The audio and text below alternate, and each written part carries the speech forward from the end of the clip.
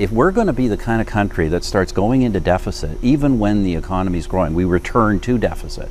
We know in the past that is a recipe for permanent deficits because, look, once you lose the anchor of a balanced budget, mm-hmm. uh, you're always under pressure to just spend more and not cover it. And, and we, we, nothing's going to m- magically balance the bu- uh, balance the budget after three years.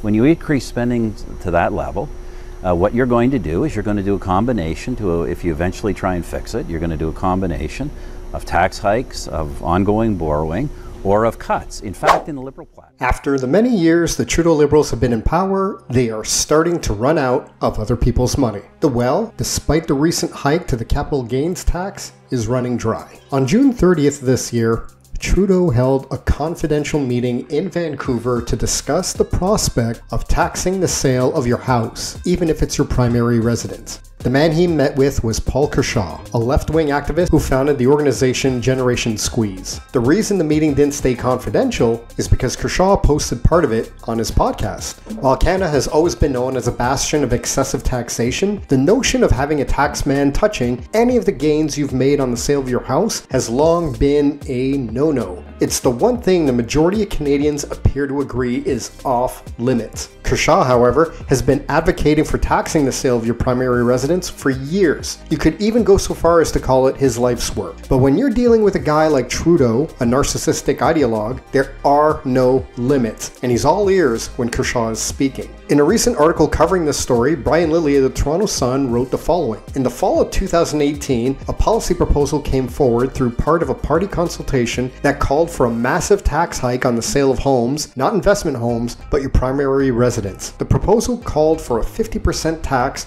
on any profits from a home sale after one year of ownership, 25% after two years, 15% after three years, 10% after four years, and 5% after five years. We have never applied a capital gains tax on the sale of your primary residence. For investment properties or cottages, this tax has been applied, but not on your own home. Aside from being able to score a meeting with the Prime Minister, Kershaw also consults with, you ready for this? The Canada Mortgage and Housing Corporation, better known as the CMHC. And he pitched his idea of taxing the sale of your home on more than one occasion, but it was a suggestion he had for the CMHC in 2022 that really raised alarm bells. Rather than waiting for the sale of a home to happen, Kershaw recommended that people be taxed on their homes while they're living in them based on the house's value versus the level of their income. In other words, if you bought a house for $200,000 and you make $100,000, you'll pay a lot higher in taxes than someone earning $80,000 a year and living in a $600,000 home. We don't even need to hear from Jagmeet Singh and his NDP jackals to know they'd be 100% on board with this, which means we're in perilous territory. Together with the NDP, the Liberals hold a majority and could easily pass a capital gains tax on homeowners selling their primary residences. Sure, the Conservatives can leverage the supermajority they're expected to get come the next election, but they won't be able to undo this right away, meaning that thousands of homes will sell in the meantime and be taxed accordingly. How do you feel about the idea of having to pay a large chunk of the gains you've made on the sale of your home? Sound off in the comments. Thank you very much for watching, and please consider subscribing if you haven't done so already.